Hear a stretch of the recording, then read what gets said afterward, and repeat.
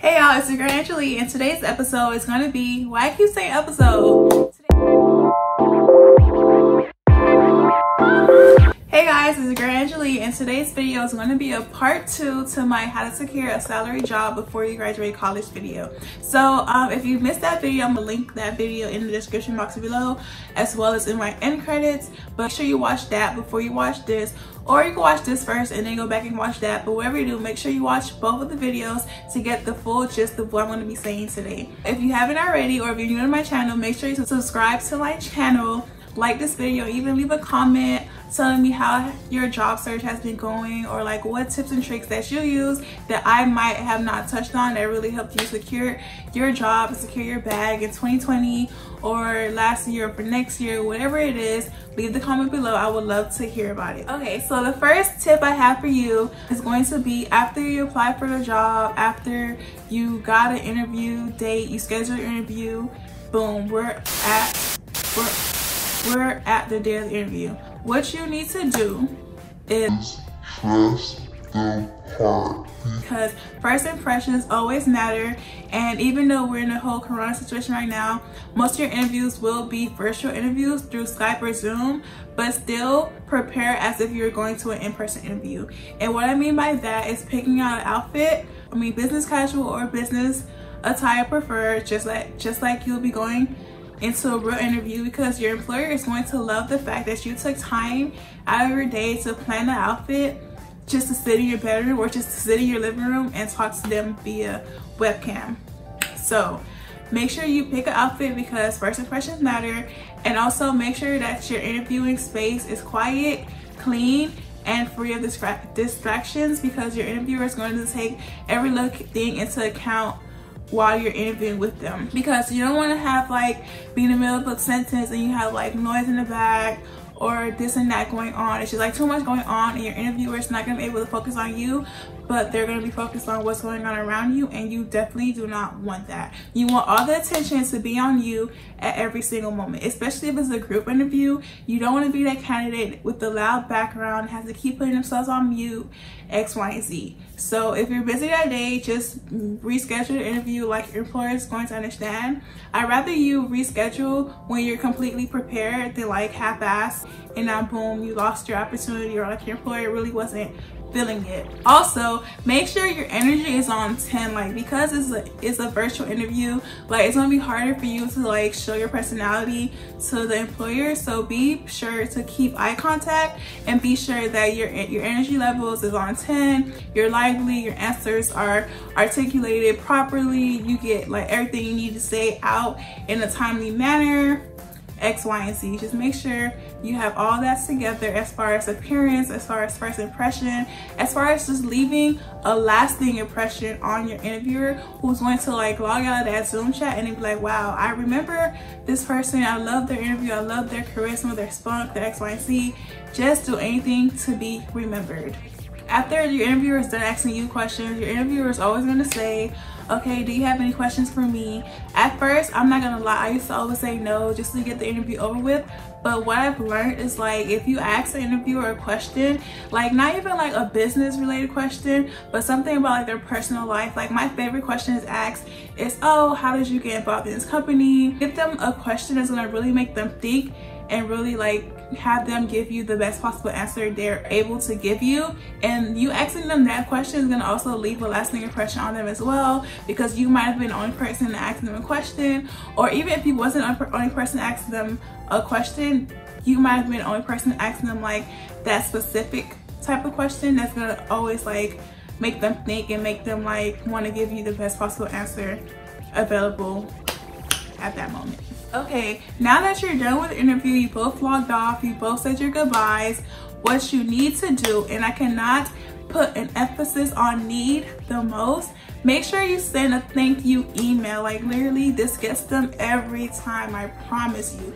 Like you sending a thank you email not only shows them that you're considerate of their time and you appreciate them taking the time out to talk to you it even like shows them how your work ethic in the sense that like you're you're the type person to follow up in the thank you letter make sure to include like something like a personal a personal fun fact that they told you about themselves at the beginning like for example um in the introductory part of your interview your interviewer is going to tell you a little bit about themselves and a little bit about the company so for example um one time an interviewer told me like yeah you know, I was born and raised in Atlanta. I loved um, watching the Atlanta Falcons growing up, X, Y, and Z.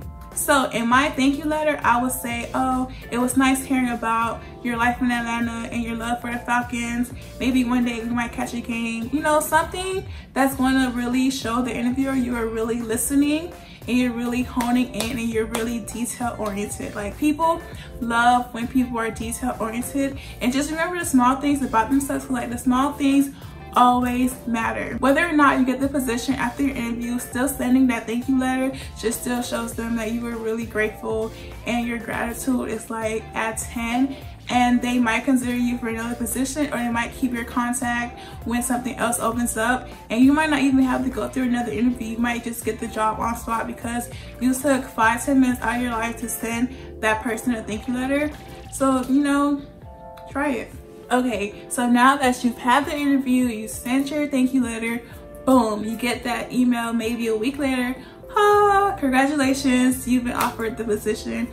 Boom, they send you an offer letter, you check everything out, everything looks nice and dandy.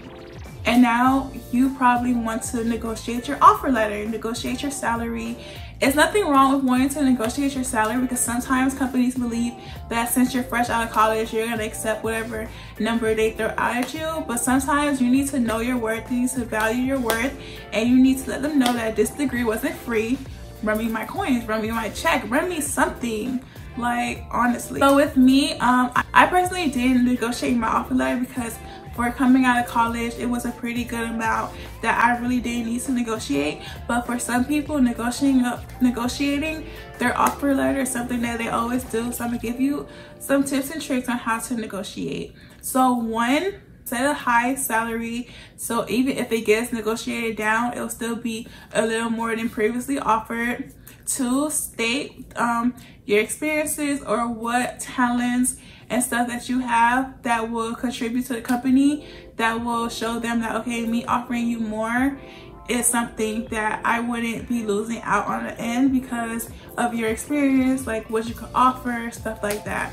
So just basically show the company your worth and show the company that the skills that you possess will be an asset to them and they have no other choice but to accept you know, and relook at some numbers. Also, another thing with offer letters, sometimes if you're gonna be moving from state to state, so for example, me, I'm moving from Florida to New York in July or June, depending on when this corona situation, you know, settles down a little bit. Some companies may or may not offer you a relocation package. So what a relocation package is, basically is a package that will help you and help your transition from state to state. And that could be they re uh, reimburse you the money that's that you spent to move. So like flight um, moving your stuff finding an apartment paying deposit you pay that out of pocket first and then they will reimburse you after you show them receipts. Some companies they give you like money up front they might give you like 5000 6000 just to like help you know lower the cost or help the burden of moving state to state so quickly. Because sometimes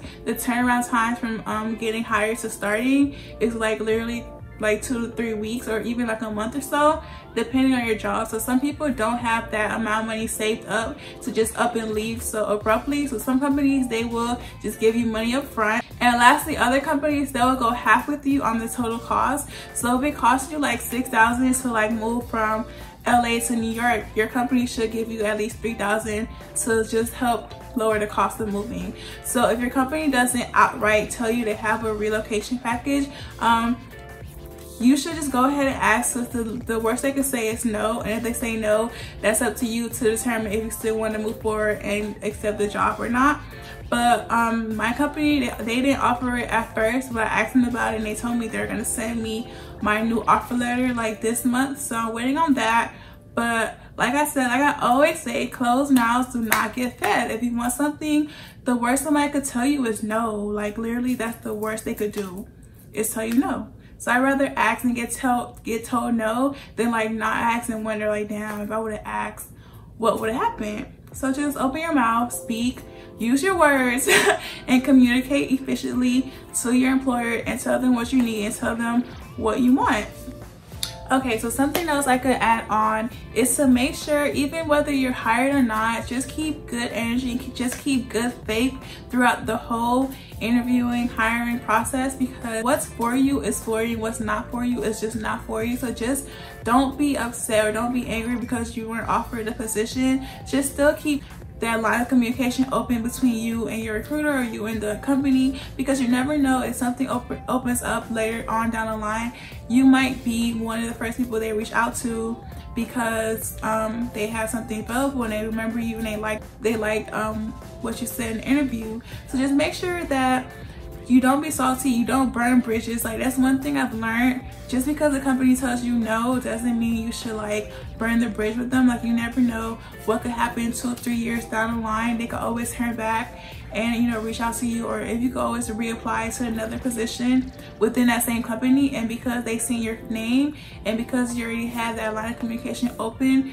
you might just get hired because of that just off the strength of I know your work ethic because I've seen what you did in your previous interview. You don't have to go through it again. So just don't be salty about anything. Like I said before, what's for you is for you. What's not is not. Like job searching has been the hardest thing I have done in my 22 years of life. Like I cannot tell you how many jobs I applied for on Indeed, LinkedIn, Monster. Like I could say I probably applied to maybe like 60 plus jobs no literally like up, upwards to 100 jobs i've applied for. And like the the type of jobs ranges from like what i really want to do to like what i'm settling for. But just know like what's for you is for you. And like god will really put you in a situation that will make that will have you coming out of it the best version of yourself. And that's all i can really say. Like i've been turned down by like a lot of jobs. When i tell you guys I've been turned down by a lot of jobs and it's not even funny like getting that email that oh um we're sorry to inform you or we're, we regret to inform you like those emails are really like at first they were like so crushing. It was like damn am I not good enough? But like sometimes you just have to know like if it's not for you like god will not put you in any situation where he doesn't see you succeeding in or if he does it's just to make you a stronger person. And i truly believe like me moving to new york is really to help me become the best version of myself because i just feel like it's to bring out that hustle in me that i know i have but i haven't really had to put to use because you know everything's been like steady in my life hasn't really been any like major ups or major downs so I just feel like moving and starting my adult life is gonna show me like, okay, this is real life now. Like, ain't no mommy, daddy money, ain't no like, ain't no financial aid money, ain't no refund checks, ain't none of that. Like, so I'm just ready to hop into it with an open mind, open heart, and just accept everything that is gonna come my way. Like the good, the bad, the ugly, like I'm just here for it all. Okay, so now that you've been offered a job, you've um, negotiated your salary, you've asked and got granted your um, relocation package, now, all you have to do is accept the position. So when you accept the position, um, I know for my company, they sent me an offer letter and I had to like virtually sign the letter.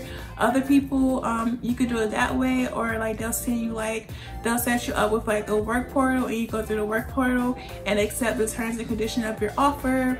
It's like a lot of different ways to accept the offer letter, but once you accept it, you're good to go. And now you have a job. So hopefully these tips and tricks from my first video and this video really helped you um, on your job search or even if you're not looking for a job, you might be looking for one soon. Hopefully you can use these tips to guide you through the whole process. Like, comment, and subscribe to my channel and also leave comments below so we can help each other out. And see you next week in my next video. Later.